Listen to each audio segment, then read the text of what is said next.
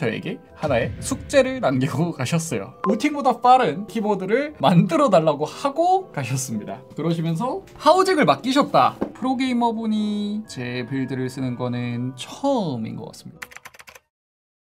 안녕하세요 눈쟁 여러분 반갑습니다 눈쟁입니다 저번 시간에 오랜만에 눈쟁 PC방 컨텐츠를 진행을 했었죠 여기 오고는 사실상 프로분 모시고는 처음이지 그 전에 마다끼님이랑 춘춘님 왔다 가셨고 그리고 메테오님 해가지고 이번에 왔다 가셨습니다. 근데 그 영상 보신 분들은 아시겠지만 메테오님이 저에게 하나의 숙제를 남기고 가셨어요. 키보드를 그것도 Venom Wooting보다 빠른 그 키보드를 만들어 달라고 하고 가셨습니다. 그러시면서 하우징을 맡기셨다. 제가 예전에 한번 조립을 했었던 하우징이죠. 그 주황색 타카 라카 조립했었던 그 하우징이 바로 이 Tofu60 Redux. 요 하우징인데 요 하우징을 이제 가지고 오셔가지고 저에게 만들어 달라고 하셨습니다. 근데 그때 Venom 제가 기판이랑 나머지 뭐 부가적인 거 없어가지고 못 만들어 드렸었는데 오늘 한번 만들어 보려고 합니다. 일단 제가 Venom을 조립한 거는 총 두 가지예요. Frog Mini 지금은 단종을 했습니다. 그리고 요거는 이제 Bakeneko 미국 CannonKeys라는 곳에서 파는 하우징인데 O-ring 마운트를 사용을 합니다. 고무 O-ring이라고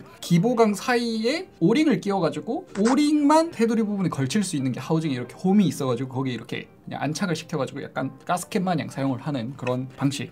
그래서 이렇게 하나 조립을 했는데 이거는 7U예요. 이것도 6.25U로 바꿔야 되지 않을까 싶은데 이거는 이제 조금 가볍게 조립을 한 거고 지금 Geonworks에서 레제라라고 Frog Mini를 단종을 하고 새로 나오는 하우징이 있습니다. 좀 더 가벼운 알루미늄 하우징으로 나오는데 그 친구도 마운트가 이 O-ring 마운트랑 트레이 마운트 두 가지 방식으로 나옵니다. 네, 트레이 마운트 같은 경우는 사실 뭐 지금도 여러 가지 조립을 할 수 있죠. 뭐 Wooting 같은 경우도 트레이 마운트로 만들어져 있고 그리고 오늘 조립할 이 친구도 트레이 마운트로 만들어진 하우징입니다. 이거랑 똑같이 만들어 달라고 하셨는데 사실상 제가 가지고 있는 Frog Mini 하우징을 사용할 수는 없잖아요. 왜냐면 이 하우징을 써야 되기 때문에. 그래서 타카 조립한 거 있죠? 그거 키감도 괜찮은지 물어봤었는데 괜찮다고 하셔가지고 그걸로 지금 confirm이 난 상황이죠. 하우징을 먼저 보여드릴게요 이게 red 색깔이 아니고 anodizing 된 red 계열 색상이다 보니까 wine red 색상이에요. 그래가지고 keycap 매칭이 제가 가지고 있는 그냥 일반적인 red 계열 keycap으로는 매칭이 안 될 것 같아가지고 keycap을 제가 다른 걸 구매를 했습니다. keycap은 나중에 보여드리는 걸로 하고 Venom 60HE 기판 6.2565 보강판도 이제 두 가지를 가지고 왔는데 이거는 레제라에 들어가는 알루미늄 방식이고요. FR4랑 알루미늄 보강 이렇게 두 개가 있는데 그래도 타건은 알루미늄이 낫겠죠? 왜냐면 최대한 비슷한 키감을 얘기를 하셨어가지고 알루미늄 보강에다가 하도록 하겠습니다. 그냥 제가 오늘 조립 같은 경우는 조금 쉬운 방식으로 조립을 하도록 할게요. 일단은 stabilizer 같은 경우는 저는 Type Plus가 맞는 것 같아요. 음. Type Plus 많이 사놨는데 Type Plus 써야지. 음. Type Plus 많이 사놨잖아요. 음. 많이 사놨죠.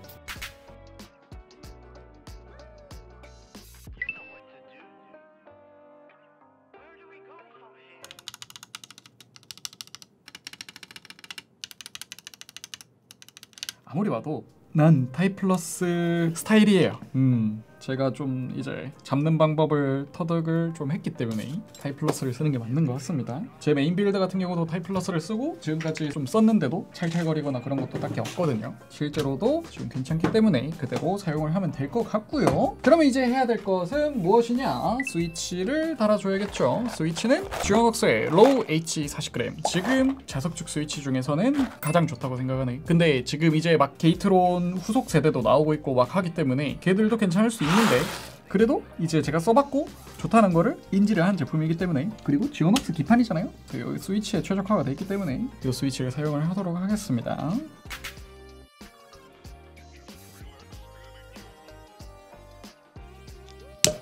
짜라란 잡고요. 일단은 메테오님이 사신 게 무게추는 없는 버전입니다. 그래도 좀 채워야 되지 않을까 싶긴 하거든요. 하부 폼이 사실 EPDM이 제일 낫긴 한데 하부 폼으로 쓸만한 게 어, 폼이 없네.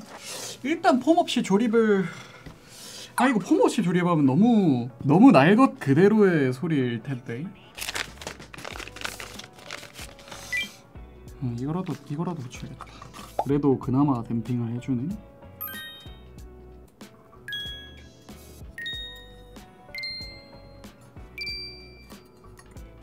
오늘의 티켓 FBB의 SFC199 음, 약간 화이트 기반의 색깔이 군데군데 폰트로 들어가 있는 일각으로 돼 있는 친구고요. 하와중에 이게 그나마 어울릴 것 같아가지고 했거든요. 원판 베이스에 색이 많이 들어가는 건 별로일 것 같아가지고 했는데 저의 눈 티켓 매칭이 과연 맞을지는 해봐야 합니다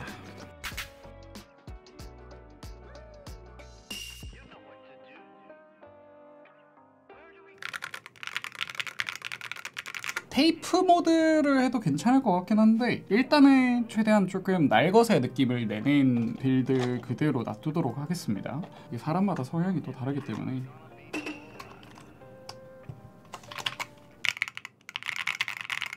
이렇게 메테오님 베놈 조립 완료했습니다. 생각보다 깔 자체는 괜찮은 것 같아요. 오히려 폰트 자체가 너무 어두운 그런 느낌보다는 조금 밝은 느낌으로 가면서 포인트는 최소한으로 주는 게 대비가 돼서 나은 것 같네요